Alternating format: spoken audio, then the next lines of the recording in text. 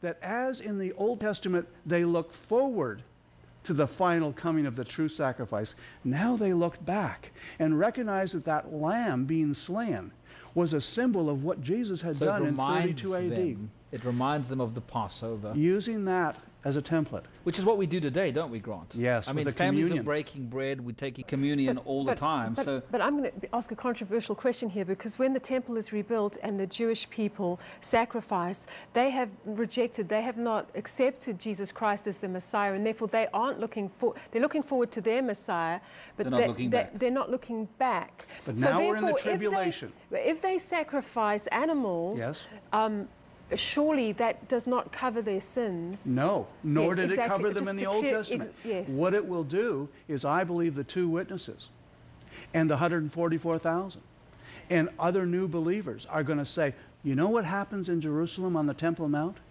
That points to what Jesus did.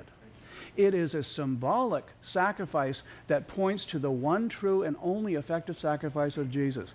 That is also the explanation of why in Ezekiel we're told that in the millennium, in the new millennial temple, there will be sacrifice. Why? Because I believe. And just say that again slowly, because saints, when I've read that as well, it's been a surprise to me. Yes. You read Ezekiel, and he talks about when Christ has returned, when when the new millennium's taking place, when you and I are ruling and reigning with Him, God willing. There are sacrifices. Nations are being instructed, commanded to come up. Otherwise, they won't have it. rain. That's right. And why?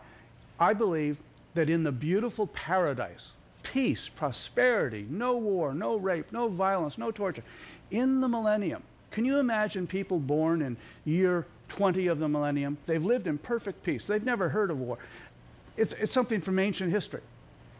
Can you not imagine them wondering, wasn't God maybe a bit extreme at Armageddon?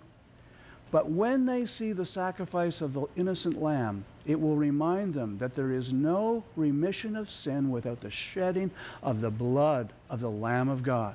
Again, it will remind the people born in that thousand year period that there was a price for salvation, and that price was what Jesus paid on the cross.